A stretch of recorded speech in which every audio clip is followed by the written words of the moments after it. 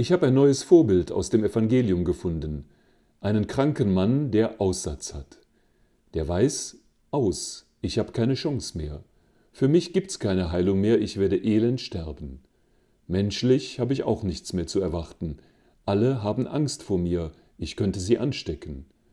Ohne jede Hilfe, ganz allein, alles ist sinnlos. In dieser Ausweglosigkeit sucht der Aussätzige den Kontakt zu Jesus und sagt Jesus, Du, du kannst machen, dass ich heil werde, wenn du willst, dein Wille geschehe. Und Jesus sagt ihm, ich will das, werde gesund.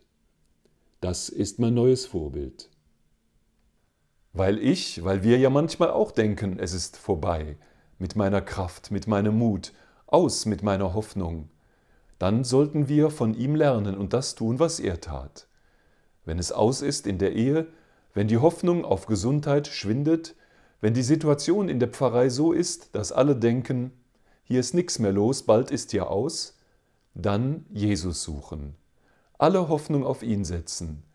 Du kannst machen, dass sich alles noch ändert. Du kannst immer noch Herr bleiben über diese Situation. Aber dein Wille geschehe, nicht meiner. Das ist mein neues Vorbild. Wenn es aus ist, dann wie der beten, Jesus, wenn du willst, kannst du mir helfen. Aber nicht mein Wille geschehe, sondern deiner. Was passiert, wenn man so vertraut? Dann ist tatsächlich der auferstandene Christus bei dir, der, der die Macht hat über den Tod und schenkt dir einen tiefen Frieden ins Herz, egal was dann passiert dann ist's nicht mehr aus, dann beginnt neues Leben.